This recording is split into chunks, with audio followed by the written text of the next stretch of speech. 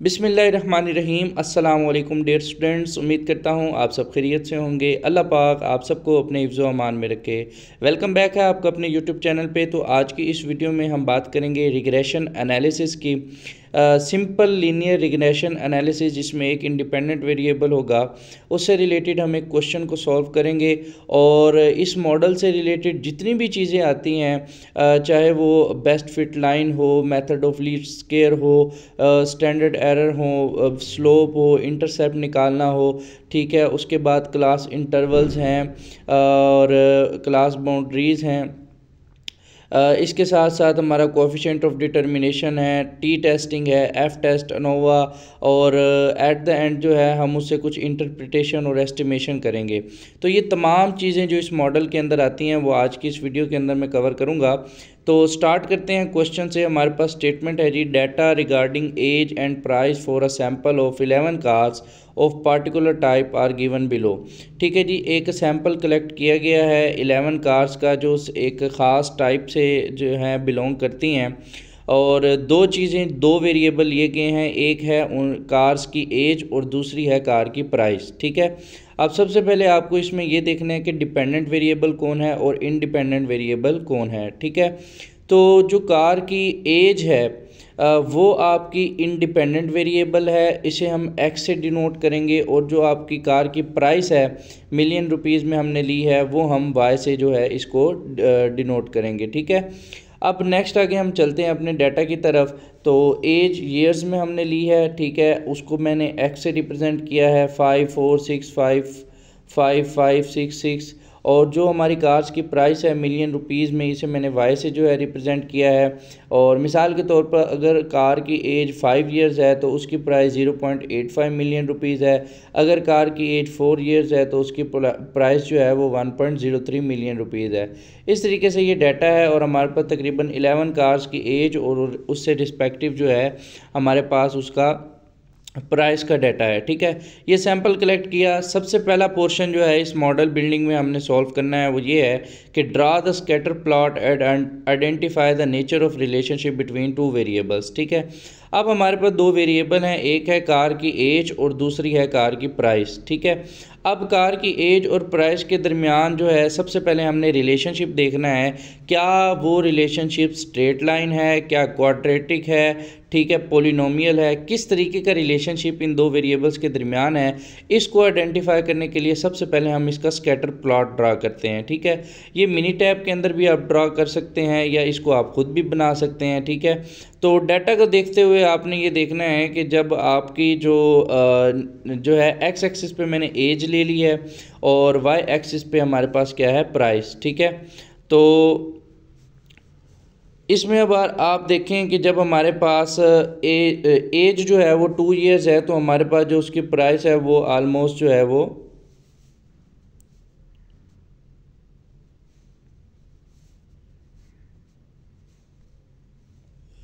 तो इसमें आप जो है वो ये देखें कि जो हमारे पास एज है उससे रिस्पेक्टिव आपने प्राइस के जो है वो डॉट्स जो हैं वो लगाने हैं और इस तरीके से आपके पास जो है ये प्लॉट जो है वो बनेगा।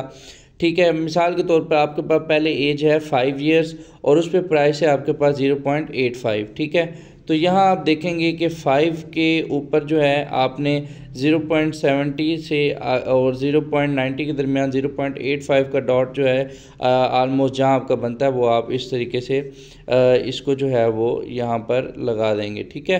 और सिमिलरली जब आप जो है क्या कहते हैं नेक्स्ट देखते हैं एज है आपके पास फोर इयर्स और प्राइस है वन पॉइंट ज़ीरो थ्री ठीक है? तो आप यहाँ पे एज को देखेंगे फ़ोर और वन पॉइंट ज़ीरो थ्री आपकी प्राइस थी तो ये जनाबे वाला आपका जो है, ये यहाँ पर कहीं आके डॉट जो है, वो लगेगा।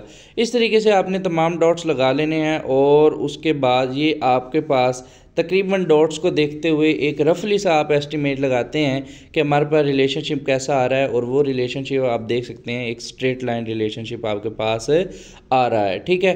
बाकी आप अगर कुछ बेसिक चीज़ें जानते हो तो यहाँ से आपको पता लग जाएगा कि इसका जो स्लोप है वो नेगेटिव है ठीक है? आ, तो सबसे पहला स्टेप था स्कैटर प्लॉट ड्रा करना वो हमने ड्रा कर लिया और हमने नेचर ऑफ़ रिलेशनशिप जो है वो भी आइडेंटिफाई कर लिया कि scatter plot indicates that there is a straight line relationship between two variables ठीक है? नेक्स्ट स्टेप पे मूव करते हैं determine the least square line best possible fit line for the above data and interpreted ठीक है? अब relationship को understand करने के लिए ना ये जो दो वेरिएबल हैं एज और प्राइस एक तरीका तो था स्कैटर प्लॉट बनाना, उससे हमने ये देख लिया, ये लीनियर रिलेशनशिप है, फिर हम इसकी जो है वो स्ट्रेट लाइन इक्वेशन जो है वो बनाएँगे। दूसरा तरीका होता है नुमेरिकली नुमेरिकली हम क्या करते हैं, हम बेस्ट फिट पॉसिबल लाइन जो है वो ढूंढते हैं और उसको बनाते हैं, उसके बाद उसकी इक्वेशन बनाते हैं देन हम उसको जो है उसकी इंटरप्रिटेशन करते हैं, ठीक है? अब लीस्ट केयर लाइन है क्या? ठीक है लीस्ट स्केयर लाइन एक्चुअली उसको हम दो चीज़ों से रिप्रेजेंट करते हैं. एक उसका होता है हमारे पास वाई इंटरसेप्ट ठीक है? यानी वाई एक्सिस पे, जिस हाइट पे वो जो है इंटरसेप्ट करेगी लाइन उसे हम इंटरसेप्ट बोलते हैं और दूसरी चीज़ होती है स्लोप जिसे हम जो है वो बी वन से रिप्रेजेंट करते हैं। जो इंटरसेप्ट है, उसे हम बी नॉट से रिप्रेजेंट करेंगे, ठीक है? अच्छा बेस्ट फिट लाइन क्या है? बेस्ट फिट लाइन वो लाइन है जो चाहे बेशक इन तमाम डॉट से ना गुज़रे। लेकिन तमाम डॉट्स जो हैं वो उस लाइन के गिर्द क्लस्टर करें और तमाम डॉट्स का फासला उस लाइन से कम से कम हो। ठीक है, ये होती है बेस्ट फिट लाइन दूसरी स्टैटिस्टिक्स की ज़बान में मैं सिंपली आपको कहूँ तो बेस्ट फिट लाइन से जो आपका जो डॉट है, वो जितना दूर होगा वो आपका एरर है। ठीक है, यानी ये डॉट जो है, ये आपकी लाइन से जितना दूर है, ये एरर है। तो डॉट जितने लाइन के करीब होंगे तो हम बोलेंगे एरर जो है वो उतना कम होगा। तो जो एरर, जो है ये ऊपर की तरफ़ हो तो पॉजिटिव होता है, नीचे की जानब हो तो नेगेटिव होता है। तो जब हम इसका स्केयर ले लेते हैं तो हम कहते हैं जी स्केर्ड एरर जो है सम ऑफ़ स्केर्ड एरर वो क्या होना चाहिए? कम से कम। यानी डॉट्स उस लाइन से बहुत ज़्यादा दूर नहीं होने चाहिए, उसके करीब तरीन होने चाहिए। तो ऐसी लाइन उसे हम क्या कहते हैं? बेस्ट फिट लाइन तो बेस्ट फिट लाइन का मैंने आपको बताया कि दो चीज़ों से हम इसे रिप्रेजेंट करते हैं। एक है उसका ये बी नॉट जिसे इंटरसेप्ट कहते हैं, दूसरा है उसका स्लोप जिसे हम बी वन कहते हैं, ठीक है? तो ये हमारी सैंपल की रिग्रेशन लाइन है, ये एक जनरल लाइन है, ठीक है? अब हमने क्या करना है हम इससे अपना पॉपुलेशन का रिग्रेशन मॉडल बनाते हैं या उसकी इक्वेशन बनाते हैं वो हमारे पास आती है Y equal to beta naught plus beta one X ठीक है? अब यहाँ पर जो हमारे पास बीटा नॉट है ये हमारे पास क्या है? पॉपुलेशन का इंटरसेप्ट है। बी बीटा वन क्या है? ये पॉपुलेशन का स्लोप है। ठीक है कि पूरी पॉपुलेशन में स्लोप जो है कि किस तरीके से प्राइस और एज एक दूसरे के ऊपर जो है आ, के दरमियान रिलेशनशिप है ठीक है? आ, वो बयान करेगा हमारे पास ये स्लोप ठीक है? और एक्स हमारे पास वेरिएबल है। ये हमारे पास पॉपुलेशन का रिग्रेशन मॉडल है, हमारे पास सैंपल की एक रिग्रेशन लाइन आ गई ये। अब हमने क्या करना है नेक्स्ट स्टेप में? अपना जो बी बी बी डॉट है और बी वन है, इनकी वैल्यूज़ को मालूम करना है, ठीक है? अब मैंने आपको बताया कि बी नॉट आपका इंटरसेप्ट है और बी वन आपका स्लोप है। अब स्लोप और इंटरसेप्ट को फाइंड करने के बहुत सारे फार्मूले हैं, लेकिन हमने यहाँ पे जो फार्मूले यूज़ करने हैं, वो मेथड ऑफ़ लीस्ट स्केयर के थ्रू यूज़ करने हैं।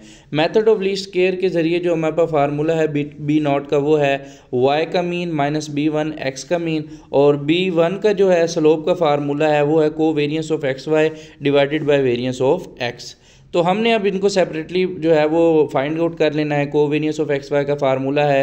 One over N into summation X Y minus summation X summation Y over N और वेरियंस ऑफ़ एक्स का फार्मूला है। One over N summation X square minus summation X whole square divided by N और uh, ये। तो इसमें आपने values वगैरह put करनी है तो आपके पास आंसर आ जाएँगे ठीक है? कोवेरियंस ऑफ़ एक्स वाई का आंसर है minus zero point three seven one seven और वेरियंस ऑफ़ एक्स है हमारे पास one point eight three four seven ठीक है?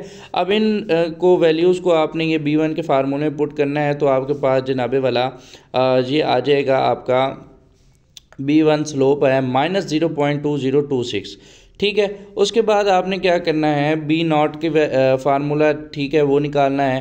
कैलकुलेटर में आपने डाटा सिंपली फ़ीड कर लेना है। फ़ीड करने के बाद आपने जो है उसके प्रोटोकॉल्स को यूज़ करके डायरेक्ट इनकी वैल्यूज़ निकाल सकते हैं आप। एक्स एक्स के मीन की और वाई के मीन की। वैल्यूज़ पुट करने के बाद हमारे पास जो बी नॉट इंटरसेप्ट की है वैल्यू है, वो है one point nine five five ठीक है? इन दोनों वैल्यूज़ को आपने अपनी उस इक्वेशन में फिट करना है, लिखना है, ठीक है? तो हमारे पास जो है इक्वेशन आती है, वो ये है Y is equal to one point nine five five minus two point zero point two zero two six X अब ये लाइन हमें क्या बताती है? इसकी इंटरप्रिटेशन हम करेंगे। इसकी इंटरप्रिटेशन में सबसे पहले जो है, हमारे पास the value of B one जो है स्लोप की minus zero point two zero two six ये इंडिकेट करती है कि average price of car is expected to decrease by zero point two zero two six million rupees by one year increase in the age ठीक है? कि जैसे जैसे आप वन ईयर एज इंक्रीज़ होती जाएगी तो उसकी जो प्राइस है वो zero point two zero two six million जो है वो डिक्रीज़ होती जाएगी और ये डिक्रीज़ की जो है क्लियरेंस आपको इस माइनस साइन से होनी चाहिए ठीक है? क्योंकि यहाँ पे माइनस साइन है जो हमें ये बता रहा है कि उसकी जो आ, क्या कहते हैं प्राइस है वो डिक्रीज़ होगी by one unit increase in the age ठीक है? नेक्स्ट हमारे पास जो दूसरी चीज़ है, वो है B naught intercept value of B naught is equal to one point nine five five indicate that the average price of car is expected to be one point nine five five million rupees ठीक है? अब दूसरी चीज़ को अगर ignore कर दें, ठीक है, ये स्लोप और एक्स को तो जो हमारे पास y is equal to one point nine five five आ रहा है बी नॉट की वैल्यू जो है तो वो हमें ये बताती है कि एवरेज प्राइस जो है कार की वो कितनी होगी? One point nine five five तो ये इसकी इंटरप्रटेशन होगी। नेक्स्ट है जी draw the least square line ये जो अब आपने लाइन बनाई है Y is equal to one point nine five five minus zero point two zero two six X ये बेस्ट फिट लाइन जो है, ये आपने बनाई है अपने सैंपल के लिए, इसको ड्रा करें। तो इसको ड्रा जो है वो मैंने ऑलरेडी यहाँ पे आपको करके दिखा दिया था। ये जो ब्लू कलर में लाइन आपको नज़र आ रही है आ, ये वाली ठीक है? तो ये जो है ये आपकी क्या है? बेस्ट फिट लाइन है। तो अगर आप गौर से दे सकते हैं कि चाहे तो सारे डॉट से नहीं गुजरी लेकिन तमाम डॉट्स जो हैं वो इसके करीब तरीन है। और ये लाइन क्या है? बेस्ट फिट लाइन और ये है आपकी Y is equal to one point nine five five minus zero point two zero two six X ठीक है? तो ये आपने ड्रा कर लेनी है। उसके बाद जी आगे चलते हैं। Find standard error of estimate and interpreted ठीक है? अब ये जो uh, आपने uh, जो है लाइन uh, बनाई है ठीक है? ये एक सैंपल की है। पॉपुलेशन में मुख्तु सैम्पल्स होते हैं ये वेरी कर सकती है। ठीक है? और ये लाइन कितनी प्रिसाइज़ है? मतलब इसमें कितनी ताकत है कि ये लाइन आपके पॉपुलेशन को रिप्रेजेंट करती है कि इसमें गलती होने के चांसेस बहुत कम हैं और इसमें वेरिएशन बहुत कम है। यानी ये कितनी प्रिसाइज़ है, उसको मेयर करने के लिए हम इसका स्टैंडर्ड एरर ऑफ़ एस्टिमेट निकालते हैं, ठीक है? उसका फार्मूला है एस ई स्केयर जो है is equal to summation Y minus Y जो हैट है वाई हैट ये है आपकी जो है फिटेड वैल्यूज़ ठीक है? ये अभी मैं आपको बताता हूँ कैसे निकलती हैं। Divided by N minus two ये जो ऊपर वाली चीज़ है इसे आप समेशन ई स्केयर से भी रिप्रेजेंट करते हैं divided by N minus two ठीक है? अब आपने क्या करना है? एज है, आपके पास प्राइस है वाई ठीक है, अब आपने वाई की जो है ना, वो फिटेड वैल्यूज़ निकालनी है। अब ये फिटेड वैल्यूज़ कैसे निकालनी है? ये जो आपने इक्वेशन बनाई है Y equal to one point nine five five minus zero point two zero two six X इसमें एक्स की जगह आपने एक्स की वैल्यूज़ को पुट करना है। लेट सपोज़ आपके पास पहली एक्स की वैल्यू जो है, वो है ये पाँच, ठीक है? आपने ये पाँच जो है, ये यहाँ पे जो है पुट करना है इस लाइन में और यहाँ पर आपके पास ये एक्स वाई की वैल्यू आ जाएगी zero point nine four two ठीक है? तो पहले आपकी वैल्यू थी वाई की ज़ीरो पॉइंट एट फाइव ठीक है? अब आपकी वाई की फिटेड वैल्यू क्या है? Zero point nine four two अब इसमें से आपने क्या करना है? एरर जो निकालना है एरर के लिए क्या होगा? वाई में से फिटेड वैल्यू को जो है वो क्या कर देना है? माइनस तो जवाब आएगा zero point zero nine two इसका आपने क्या ले लेना है? Square zero point zero zero eight four six four यही तरीकाकार आपने फॉलो करना है तमाम वैल्यूज़ के लिए, ठीक है? आपने क्या करना है? एक्स की जगह आपने वो उसकी वैल्यू पुट करनी है। इस बेस्ट फिट लाइन इक्वेशन में तो आपके पास वाई की फिटेड वैल्यू आ जाएगी। फिटेड वैल्यू को उसमें से आपने क्या करना है? माइनस करना है। माइनस करके आपने उसका स्क्वेयर ले लेना है। तो ये आपके पास एरर का स्क्वेयर आ जाएगा, ठीक है? एट द एंड आपने ये क्या करना है? इसके स्क्वेयर को सम कर लेना है एरर के स्क्वेयर को। और ये आएगा zero point one four one seven two one divided by N minus two N है आपका नंबर ऑफ़ ऑब्जर्वेशन वो ग्यारह हैं। ग्यारह में से टू को माइनस किया नौ। डिवाइड कर लेना है, ठीक है? एस ई स्केयर की वैल्यू आपके पास आ जाएगी zero point zero one five seven ठीक है? अब स्टैंडर्ड एरर ऑफ़ एस्टिमेट को आप रिप्रेजेंट करते हैं एस ई e से। तो ये जो आपने वेरिएंस निकाली है एस ई स्केयर इसका अंडर रूट ले लेना है। ठीक है तो ये zero point one two five four ये आपके पास आ जाएगा स्टैंडर्ड एरर ऑफ़ एस्टीमेट इसकी इंटरप्रिटेशन करते हैं कि इसकी वैल्यू जितनी सवाल होगी, इसका मतलब ये है कि ये इंडिकेट करता है कि जो पॉइंट्स है, वो आपकी बेस्ट फिट लाइन के बहुत करीब हैं और एरर जो है, वो बहुत स्मॉल हैं। ठीक है, यानी ये जो आपने लाइन बनाई है ना बेस्ट फिट लाइन ये उसकी प्रिसियन को मैयर करता है स्टैंडर्ड एरर ऑफ़ एस्टिमेट यानी अगर इसकी वैल्यू जितनी समाल होगी, वो ये बताएगी कि जो आपने लाइन लगाई है, वो बहुत अच्छी है बेस्ट फिट है, तमाम डॉट्स उसके बहुत करीब करीब हैं। अगर इस एरर की वैल्यू बहुत ज़्यादा आ जाए तो वो बताता है कि आपकी जो लाइन है, वो बेस्ट फिट नहीं है और जो डॉट्स हैं, वो उससे बहुत दूर दूर हैं और उसमें एरर बहुत ज़्यादा हैं। समझ आएगी बात की?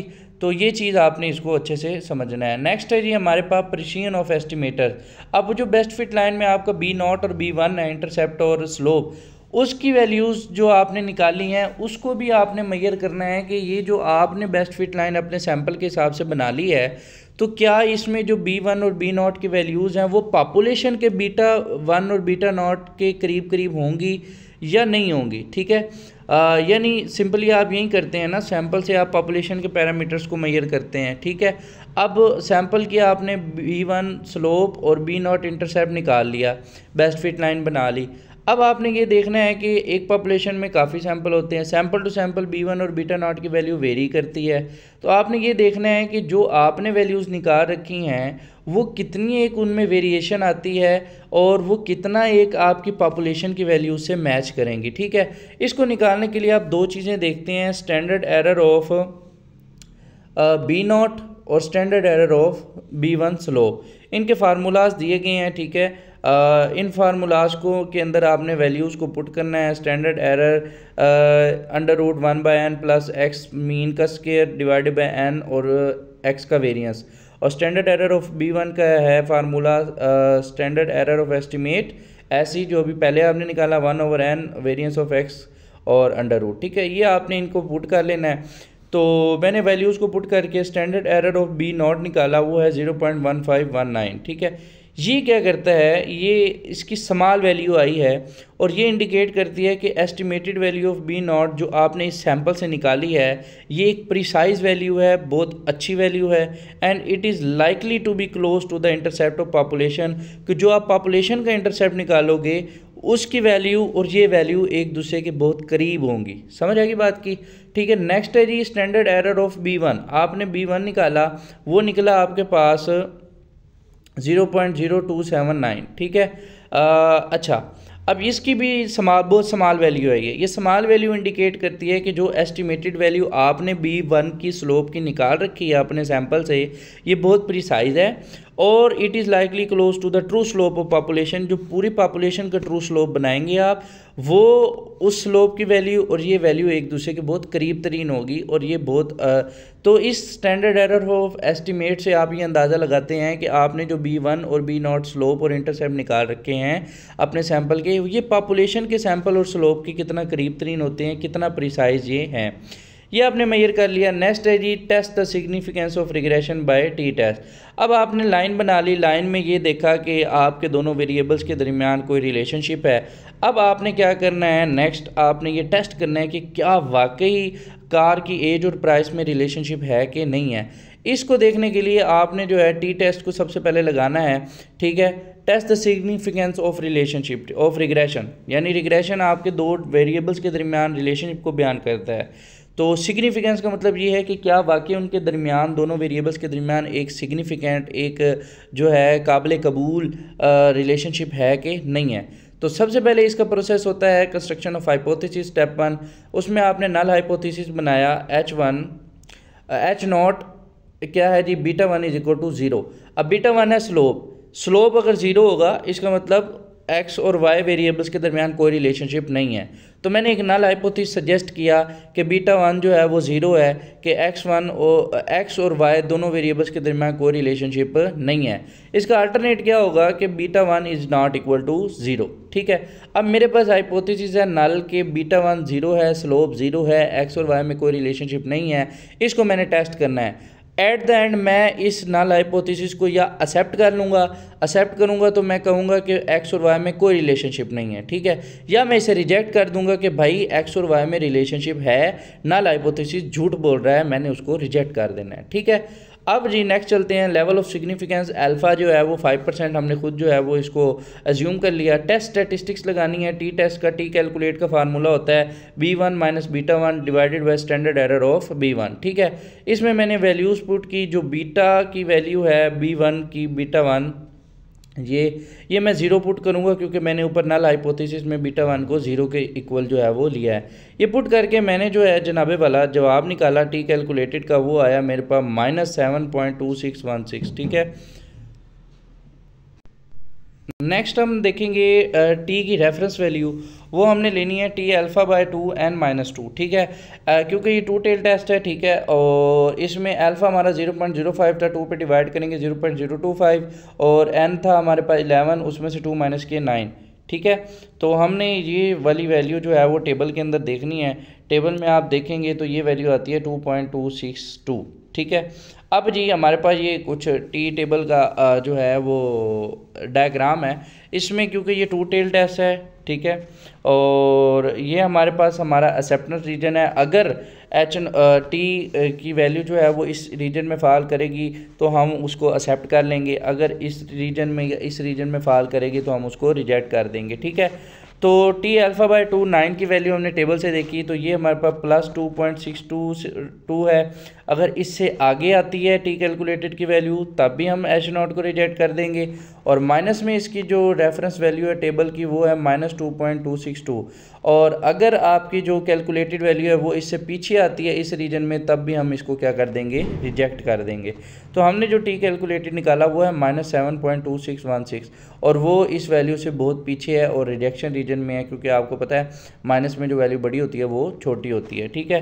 तो हमारे पास दो तरीके होते हैं एच नॉच को रिजेक्ट करने के अगर पॉजिटिव वैल्यू है तो उसमें हम ये देखते हैं कि टी कैलकुलेटेड टी अल्फ़ा यानी टी टेबल की वैल्यू से क्या होनी चाहिए? बड़ी होनी चाहिए। तो हम तब रिजेक्ट कर देंगे, या उसके इक्वल हो। और अगर माइनस में है तो वो उससे क्या होनी चाहिए? स्मॉल तो हमने माइनस में देखी तो माइनस में हमारी वैल्यू बहुत स्मॉल है। तो हमने रिजेक्ट कर दिया एच नॉट को। तो इससे हमें पता चला कि वाकई क्या कहते हैं कि हमारा दोनों वेरिएबल्स के दरमियान एक सिग्निफिकेंट रिलेशनशिप है। हमने हाइपोथेसिस को रिजेक्ट कर दिया। आगे कहते हैं जी test significant significant of regression by F test ANOVA table लगाकर आप सिग्निफिकेंट uh, जो हमारा रिलेशनशिप है कि वाकई एक्स और वाई में रिलेशनशिप है इसको टेस्ट करें। तो इसमें अनोवा बनाने के लिए आपको ना कुछ चीज़ें चाहिए होती हैं। ठीक है source of variation degree of freedom sum of squares mean sum of square ठीक है एफ़ कैलकुलेटेड और पी वैल्यू अब ये चीज़ें कहाँ से आती हैं? सबसे पहले आपने निकालनी है टोटल वेरिएशन यानी जो डिपेंडेंट वेरिएबल है प्राइस है, उसमें एज की वजह से कितनी वेरिएशन आती है? एज बढ़ती है, कम होती है तो प्राइस बढ़ती है और कम होती है. तो एज के बढ़ने से जितनी भी वेरिएशन आपकी प्राइस में आ रही है ठीक है जो डिपेंडेंट वेरिएबल है ठीक है आ, आपकी प्राइस ऑफ़ द कार है वो वेरिएशन दिखा रही है। अब उसमें जो जितनी भी वेरिएशन है उसे हम टोटल वेरिएशन कहते हैं उसको हम दो हिस्सों में डिवाइड कर लेते हैं एक्सप्लेन वेरिएशन और अनएक्सप्लेन वेरिएशन ठीक है? अच्छा टोटल वेरिएशन को हम टोटल सम ऑफ़ स्केयर भी कहते हैं ठीक है? और इसका फार्मूला है N variance of Y multiply by तो मैंने ये वैल्यूज़ पुट की एन इलेवन है वेरियंस ऑफ़ वाई निकाला तो ये मेरे पास टोटल वेरिएशन आई। ये इसे टोटल सम ऑफ़ स्केयर कहते हैं zero point nine seven zero eight explain variation जो है, ये रिग्रेशन की वजह से आ रही है, जो हमारा एज हमारे पास फैक्टर है, उसकी वजह से। इसे sum of squares of regression भी कहते हैं एस एस आर इसका फार्मूला है N multiply by B one और को variance of X Y values put की, मेरे पास इसकी वैल्यू है zero point eight two eight four unexplain variation जो एस एस ई भी है sum of squares of error यानी कि एरर की वजह से होती है, इसे निकालने के लिए टोटल में से एक्सप्लेन को माइनस कर दिया तो ये मेरे पास आ गई zero point one four two four ठीक है? अच्छा ये टी टेबल आ गया। अच्छा अनोवा बना लिया मैंने। सोर्स ऑफ़ वेरिएशन कौन कौन सा है मेरे पास? रिग्रेशन है एरर है और टोटल है, ठीक है? तो डिग्री ऑफ़ फ्रीडम निकालने का फार्मूला होता है टोटल का N minus one total observation ग्यारह थी, एक माइनस किया टेन आ गई। अब इस टेन में जो है डिग्री ऑफ़ फ्रीडम एक रिग्रेशन की वजह से है और बाकी नौ जो है वो किसकी वजह से हैं? एरर की वजह से हैं। मतलब एक डिग्री ऑफ़ फ्रीडम रिग्रेशन की वजह से है क्योंकि हमारे पास इंडिपेंडेंट वेरिएबल एक ही है ठीक है? सम ऑफ़ स्केयर्स अभी हमने सारे निकाले ठीक है? ये टोटल वेरिएशन है आपकी ये एरर की वजह से अनएक्सप्लेन वेरिएशन और ये वाली जो है आ, सबसे ऊपर वाली ये रिग्रेशन की वजह से है एक्सप्लेन वेरिएशन ठीक है? उसके बाद मीन सम ऑफ़ स्केयर निकालने के लिए क्या है? ये जो आपका सम ऑफ़ स्केयर है, इसे डिग्री ऑफ़ फ्रीडम पे क्या कर दें? डिवाइड कर दें, ठीक है? Zero point eight two eight five को वन पे डिवाइड किया तो ये आपका आ गया zero point eight two eight five इसी तरीके से zero point one four two three को नाइन पे डिवाइड किया तो ये आपका आ गया zero point zero one five eight अब एफ़ कैलकुलेटेड की वैल्यू निकालने के लिए आपको फार्मूला लगाना है mean sum of regression divide by mean sum of error यानी ये जो आपने ऊपर वैल्यूज़ निकाली हैं, इन तो इसको आपने डिवाइड कर देना है, ठीक है? मीन सम ऑफ़ रिग्रेशन क्या है आपके पास? Zero point eight two eight five divided by mean sum of error है zero point zero one five eight ये डिवाइड करेंगे तो आपके पास एफ़ कैलकुलेटेड की वैल्यू कितनी है? Fifty two point four three तो ये आपके पास वैल्यू आ गई। उसके बाद टेबल में वैल्यू देखनी है एफ़ एल्फ़ा है, और इसमें डिग्री ऑफ़ फ्रीडम टू होंगे वन और नाइन ठीक है? रिग्रेशन वाला आपने पहले लिखना होता है और एरर वाला आपने बाद में। अल्फ़ा है zero point zero five one nine यानी ज़ीरो पॉइंट ज़ीरो फाइव की लाइन में आप वन और नो और नो की जो डिग्री ऑफ़ फ्रीडम है, उससे जी की एफ़ की वैल्यू देखेंगे। तो ये एफ़ टेबल है हमारे पास, इसमें जो है ये ज़ीरो पॉइंट ज़ीरो फाइव है। अल्फ़ा आप देख सकते हैं, ठीक है? ये, और इसमें आपने देखना क्या है? वन एंड नाइन, ठीक है? डिग्री ऑफ़ फ्रीडम जो पहला है, यहाँ आपको नज़र आ रहा होगा, ये पहला डिग्री ऑफ़ फ्रीडम ठीक है? ये आपका है वन और दूसरा है आपका नाइन, ठीक है?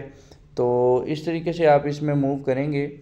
डिग्री ऑफ़ फ्रीडम ये वन और ये nine degree of freedom two तो ये आपके पास ये वाली वैल्यू आएगी, ये फाइव पॉइंट वन टू इस तरीके से आपने इसको जो है एफ़ रेफरेंस वैल्यू देख ली।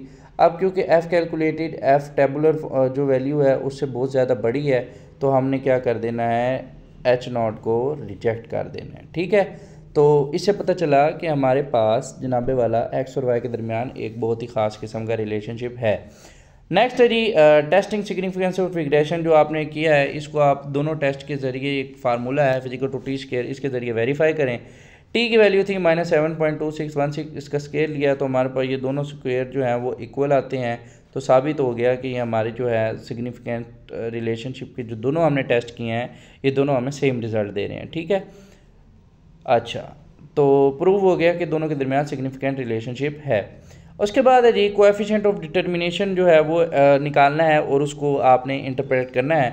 Coefficient of determination R square इसका जो फार्मूला है वो explain variation divided by total multiply by hundred तो वैल्यूज़ आपने पहले निकाल रखी हैं, इनको पुट करना है तो ये आपके पास आ रहा है एट्टी फाइव परसेंट अब 85 ये एक्चुअली कोएफिशिएंट डिटर्मिनेशन जो है, ये आपको क्या बता रहा है? कि ये बता रहा है कि जो 85 परसेंट वेरिएशन कार प्राइस में है, वो due to the age of car है। यानी जो आपका इंडिपेंडेंट वेरिएबल एज आपने ले रखे है, वो उसकी वजह से है। बाकी जो 15 परसेंट वेरिएशन है, वो मुख्तलिफ़ फैक्टर्स की वजह से है, वो एरर हैं। ठीक है, जिन्हें आप अभी काउंट नहीं कर रहे, ठीक है? तो ये चीज़ आपको कोएफिशिएंट ऑफ़ डिटर्मिनेशन बताता है। इसकी परसेंटेज 80 से 85 परसेंट या इससे ज़्यादा होती है। तो हम कहते हैं, हमने जो मॉडल बनाया है, वो बेस्ट फिट मॉडल है और वो बिल्कुल ठीक मॉडल है। ठीक है? अगर इसकी परसेंटेज कम आती है तो हम कहते हैं कि हमने जो मॉडल बनाया है, वो बिल इतना अच्छा मॉडल नहीं है एप्लीकेबल नहीं है। ठीक है? उसके बाद है जी calculate 95 percent confidence interval for beta naught and beta one and interpreted 95 percent confidence interval अच्छा एक्चुअली ये हैं क्या? देखो आ, हमने बी वन और बीटा नॉट बी वन और बी नॉट की वैल्यू अपने सैंपल के लिए निकाल ली ठीक है?